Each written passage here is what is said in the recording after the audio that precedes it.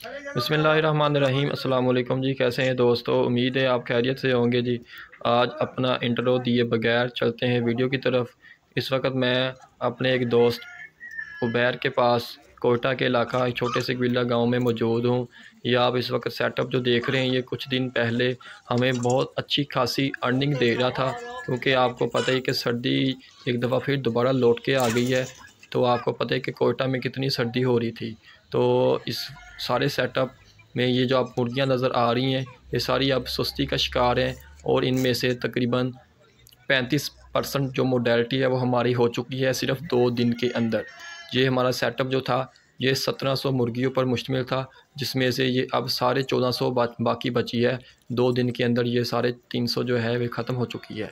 तो ये आपको बताना था इसकी वजह क्या बनी है हम न्यू कमर थे, नए हम इस बिज़नेस में आए थे, इस फ़ील्ड में आए थे तो हमसे ये क्या गलती हुई है ताकि हमारे जो व्यूवर्स भाई जिन्होंने ये शौकिया रखी हुई हैं या जो बिज़नेस आइडियाज़ की नज़र ये काम करना चाहते हैं तो वो इस गलती से महफूज रहें, बच सकें।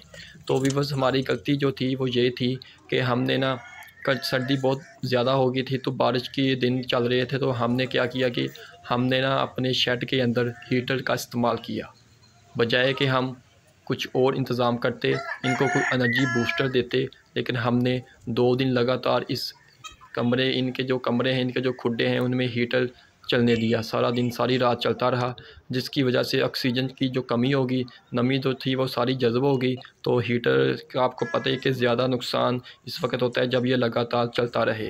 तो दो चार घंटे चलता रहे तो इसमें कोई फ़र्क नहीं होता।